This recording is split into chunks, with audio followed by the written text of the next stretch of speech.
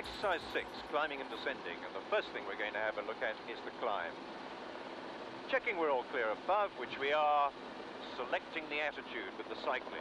Cyclic coming back with a climb attitude first, and the climbing speed will be 60 knots. Once we have a positive rate of climb indicated, we then apply the power, so raising the lever to look for 23 inches manifold pressure. So the climb is attitude and then power, positive rate of climb. When we want to level off from the climb, once again it is attitude and then power. So looking ahead at the horizon, we want to level off at 1500 feet. We anticipate by about 10% of the rate of climb. So we're going to anticipate by about 50 or 60 feet here.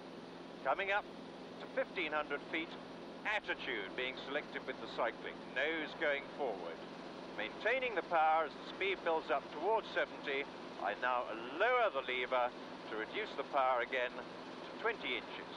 We've now leveled off 70 knots, 1500 feet. Now let's go into the descent and have a look at that. Check we're all clear below, which we are. This time it's the other way round. We reduce the power first. So here we go. Lowering the lever to reduce the power. As I lower the lever, the manifold pressure decreases, and we're going to decrease the manifold pressure, in this case, to 13 inches. Positive rate of descent showing on the rate of climb and descent indicator. I'm just raising the nose to select the attitude for the descent, which is 60 knots. So this time it was power and then attitude. Checking 60 knot attitude, and there we are in a nice steady rate of descent. 13 inches manifold pressure, 60 knot attitude. Once again, we're going to anticipate our level off by about 10% of the rate of descent. So about 60 feet before 1,000 feet on the altimeter, I'm going to start to raise the lever. Here we go. Power first. So lever coming up, increasing the power.